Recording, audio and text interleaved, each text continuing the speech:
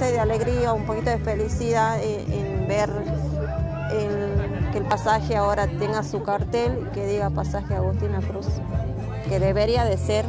con todas y se haya aprobado esta, esta ordenanza en, el nombre de Agus. Y bueno, mi ley, la que yo pido, la que yo voy a exigir, la ley Agustina implicaría en, en cuando una víctima denuncie por violencia, el agresor sea detenido, directamente sea detenido. Donde no se lo detuvo el agresor porque dice que no tenía antecedentes. Lo mismo pasó con el asesino de mi hija. No se lo detuvo porque no tenía antecedentes. Hicimos un taller de prevención con gente del barrio, con funcionarios de moldes,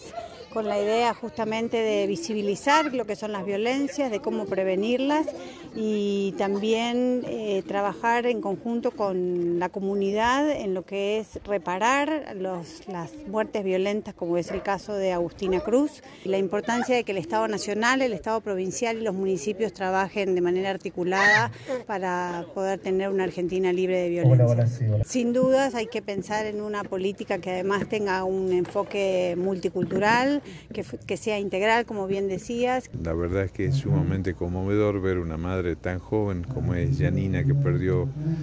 a su hija hace nueve meses, pero muy reconfortado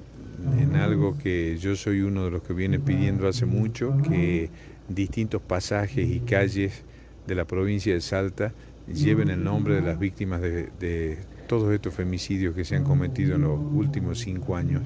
Así que me parece un homenaje absolutamente merecido, pero más allá de eso,